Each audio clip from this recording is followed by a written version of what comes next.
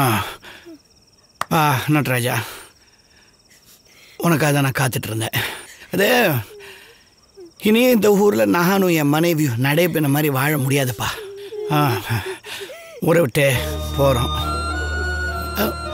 பயப்படாத. ஒன்றும் விபரீதமான முடிவெல்லாம் நான் எடுத்துட மாட்டேன். இப்படியே போகிறோம் காசி ராமேஸ்வரம் சேத்ராடங்கள்லாம் போகிறோம் வண்டி ஓடுற வரைக்கும் ஓடட்டும். என்னைக்காவது ஒரு நாள் அவ திரும்பி வருவான்னா எங்களை எங்களை பார்க்காம அவளால் ஒரு ஒரு நாள் கூட இருக்க முடியாது. எப்படி? சாமி என்னை மன்னிச்சிடுறேன் உன்னை என்னடா பண்ணிக்கிறது நீ என்ன செய்ய முடியும்? நீ என்ன கடவுளா? நீயும் சாதாரண மனுஷன் தானே? அது இந்த வளையாப்பட்டி செல்வமுத்து மாரியம்மனையும் உன்னையும் நம்பிதான். இந்த ஊருக்கே நான் வந்தேன். அந்த அம்மனுக்கு சக்தின்னு ஒன்று இருந்தா என் பொண்ணு திரும்பி வரட்டும். இல்லாட்டி நம்ம ரெண்டு பேரும் ஏன்டா நட்பா பழகணும்? நான் தான்டா பாவி. நீ இந்த நிலைமைக்கு ஆளாக்கிட்டியாடா. நீ இந்த நிலைமைக்கு ஆளானதுக்கு நான் தான்டா காரணம். நம்ம ரெண்டு பேரும் ஏன் நட்பா பழகணும்?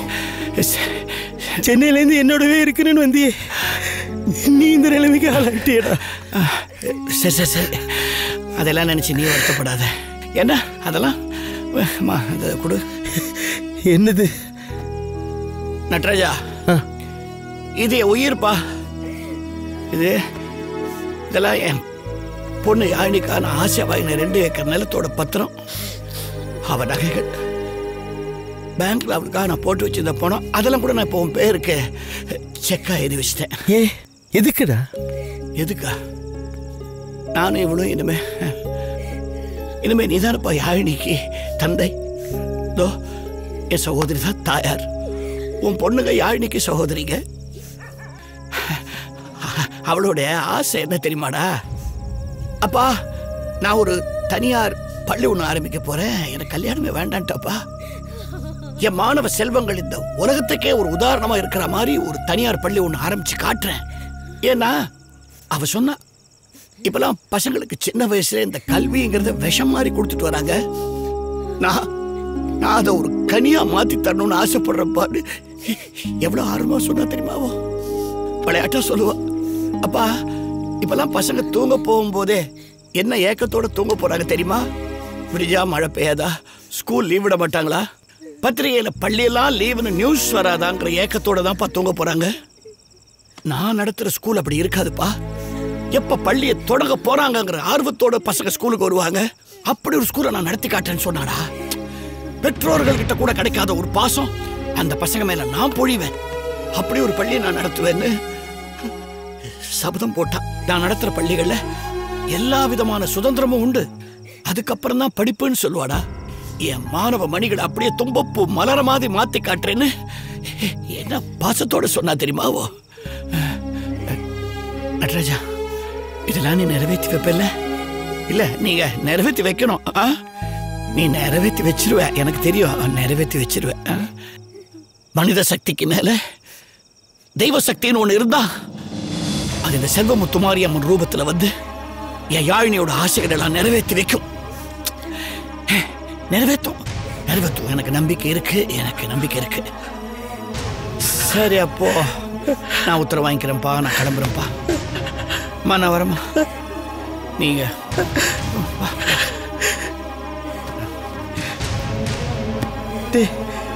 சாமி சாமி நீ சொல்றதெல்லாம் நான் செய்யறேன்டா ஆனா நீ தனியா விட்டு போறியாடா.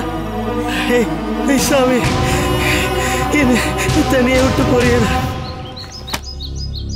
ச்சே என்ன கொடுமைடா இது? இன்னும் பாவங்களை செய்யறதுக்குள்ள இவனுங்களுக்கு ஒரு முடிவு கட்டி ஆகணும். நல்லி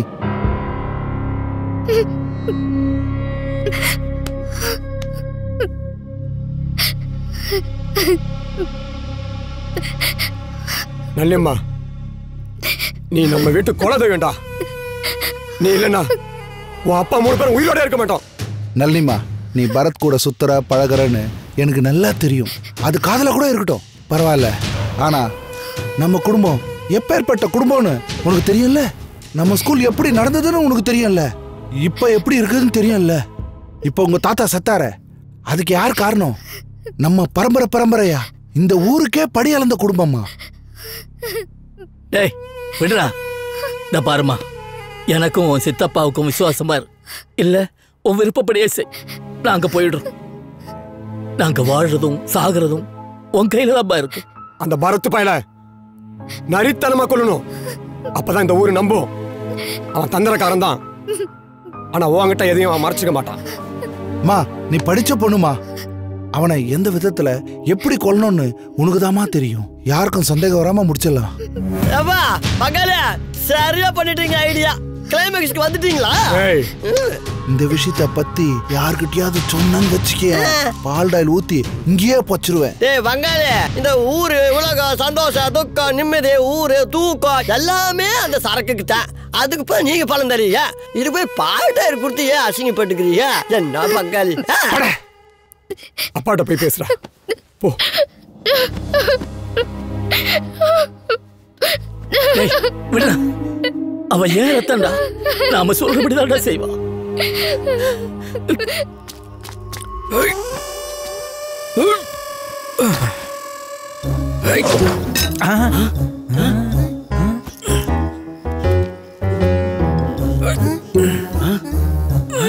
மாப்பிள ஜாக்கிரதை. ஜாக்கிரதையா? பார்த்து மாப்பிள்ள ராபா யோ வாய வச்சு சுமாரியா வராங்களா? மாப்பிள ஜாக்கிரதையா ஏறுன்னு சொன்னேன். யோ போயாங். யோ பேசாம இருக்கியா அவன் என்ன சொல்ல போற? முட்டா பையன் மாமான்னு சொல்ல போற? ஏறுறா மெதுவா ஏறுறா. எப்படி? வர சரிடா போடா.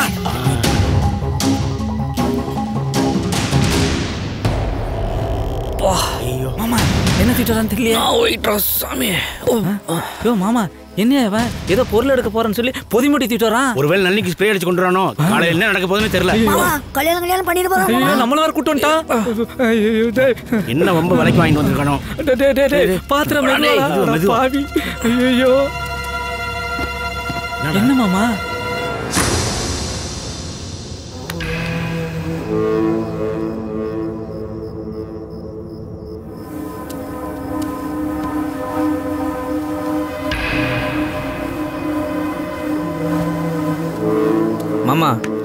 பத்திரமா பார்த்துக்கோங்க.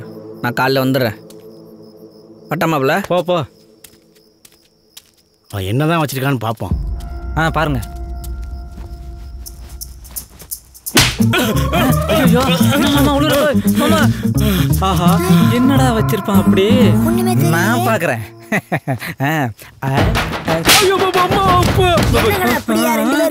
அப்படி என்னதான் நடக்குது இதுக்குள்ள? இப்ப நான் பாக்குறேன்.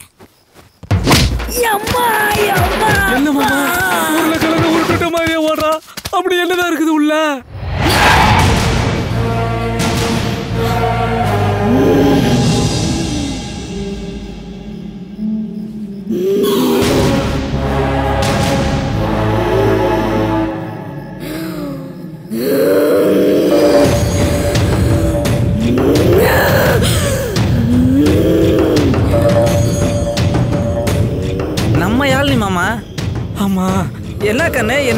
தெரியாம அடிச்சிட்டியா?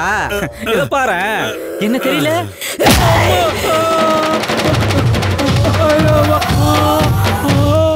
என்னம்மா பெரிய மனுஷங்க மரியாதை இல்லையா? நம்ம சித்தப்பாமா பாலூட்டி வளர்த்த கிளி நான் வளர்த்த செல்ல கிளி. ஏமா இப்படி நீ பண்றேமா பண்றேமா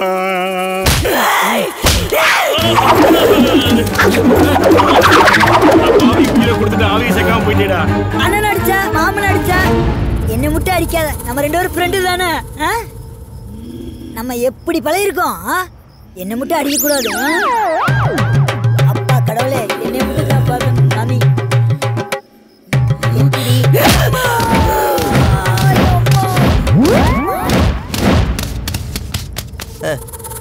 என் பங்காளிக பழி கொடுத்த பொண்ணாச்சே? மேடம் தீப்பெட்டி இருக்கா? பத்தணும் ம். ஆ, ஐயோ இத்தராத்துல உள்ள பார்த்ததே